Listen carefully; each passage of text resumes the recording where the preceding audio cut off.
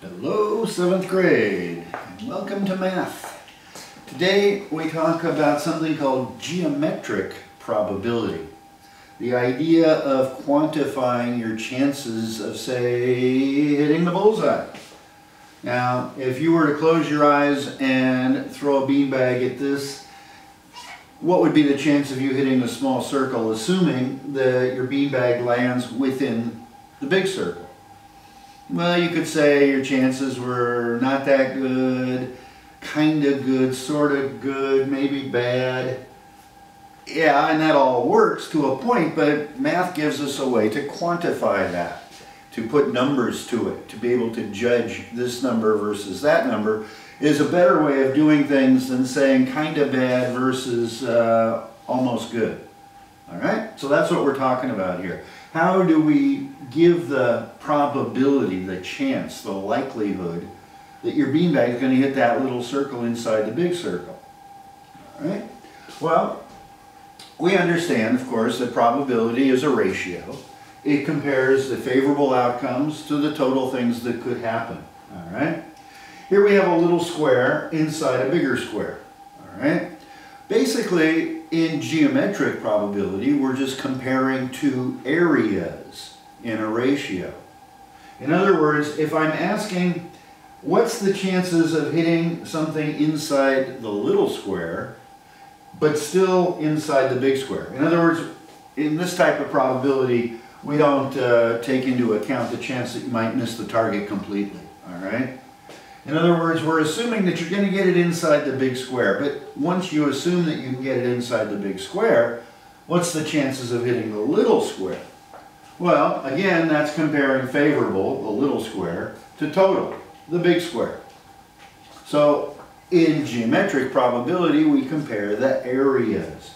The area of the little square, 1 times 1, is 1, compared to the total area, 4 times 4, 16, says that we can quantify your chances of hitting the little square as one chance out of 16. Make sense? Yeah. All right. We can put a square inside a circle. Same scenario. We're assuming that you're not going to miss the target completely. And now I've got a 2 by 2 square inside a circle with a radius of 4. So what's the chance of hitting the square? Well, that would be the ratio of the area of the square compared to the area of the circle. The area of the square is side squared, 2 squared. The area of the circle is pi r squared. Radius is 4. So we simplify that. 2 squared is 4, 4 squared is 16 pi, and so we get 16 pi. So we're comparing 4 to 16 pi. We put that in simplest terms. And we'll just leave pi as pi and say that we've got one chance out of 4 pi of hitting that. A little less than 1 out of 12, for example. All right. Uh, if we compare circles to circles, hit the bullseye, right? You've got a smaller circle inside a bigger circle. We're interested in the chances of hitting the smaller circle. And again, we're assuming you can hit the target completely, so they talk about the dart or whatever lands inside the big circle. That's an assumption we have to make. Otherwise, you know, the probability, the ratio is infinite. You have very, very tiny chance if you can't hit the big circle. Let's face it. So in this case, we've got pi r squared compared to pi r squared. The little pi r squared compared to the big pi r squared. And 2 radius compared to 6 radius. And the neat thing about that is that the pi's cancel out. So that we just simply have a fraction that we put in simplest terms. And we see that you got a 1 out of 9 chance of perhaps hitting that center circle.